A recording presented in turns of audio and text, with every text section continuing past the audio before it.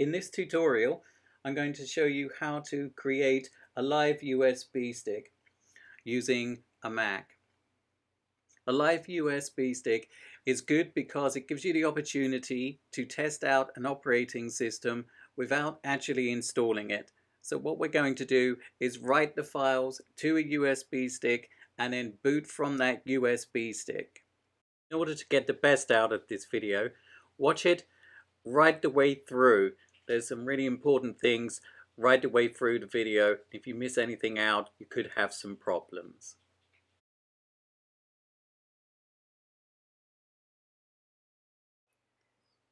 Before we get started, make sure you have the following. A USB stick uh, around about the size of 8 gigabytes. 8 gigabytes will be just fine. And you're going to need UNetbootin. So if you don't have that, download it now to begin, um, we're going to format the disk. We do command space and type disk utility.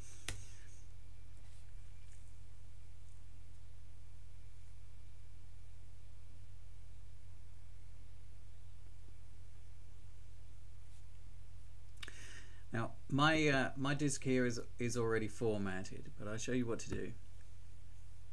Select this one here. Um, go to erase and you see this is Mac OS extended journal so we can we can just leave that. We go to partition and the partition here is this one. This is this is what it is.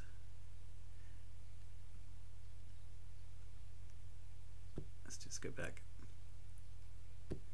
to the partition and that is um, ms-dos to make it what you do is you just select current and then go to one partition.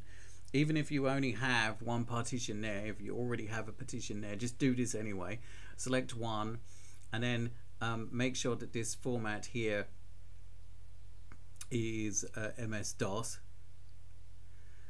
and then go to apply down here and you'll be fine.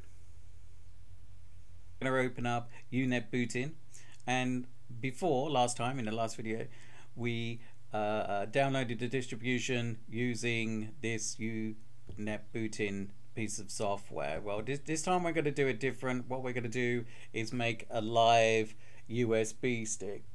Next, click on this button.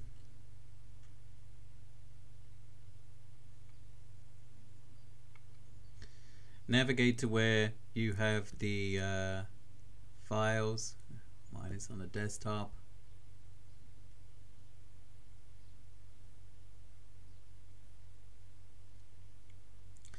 Then select the um, operating system that you're going to use. Mine is Ubuntu.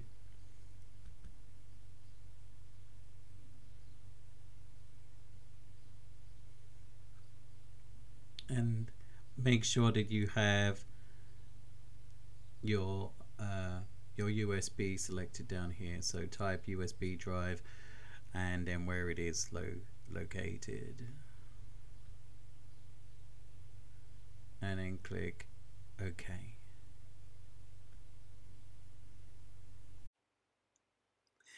This may take a little time to do so I'm just going to speed this up. During this process you may find that the blue bar here suddenly freezes and it doesn't seem to be doing anything. Don't worry, just leave it to do its thing. It may do that a couple of times throughout this process. Like I say, don't worry, just let it do its thing.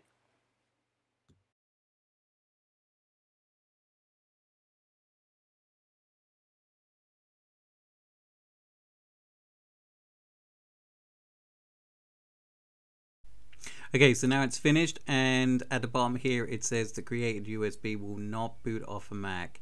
Insert into a PC. Okay, now I'm going to show you that this works. I'm going to pop this into this machine here. And I'm going to boot from the BIOS.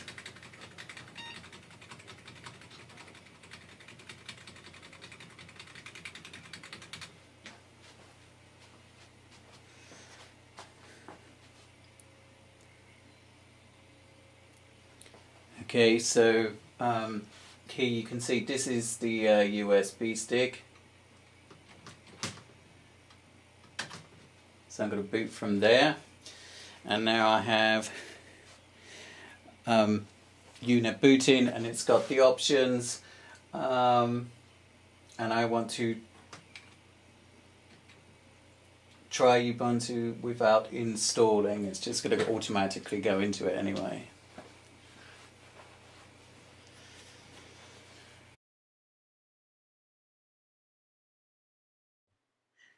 If you have any questions, please feel free to leave a comment below and I'll get back to you as soon as I possibly can.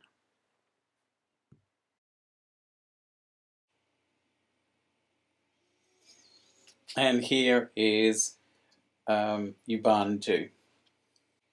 I go to Firefox.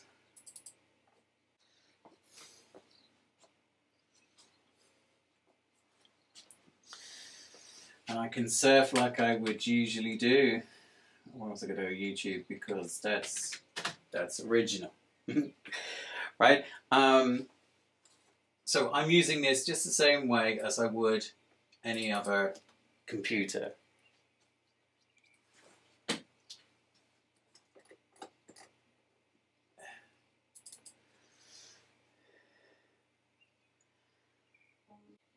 So I quit out of that.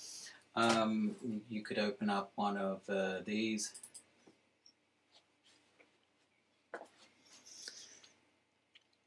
So as you can see, you can use this just the same way as you would do your computer, except for um,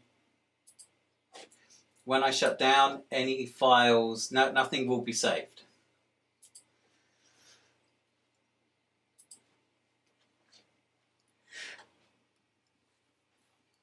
Shuts down pretty quick, doesn't it?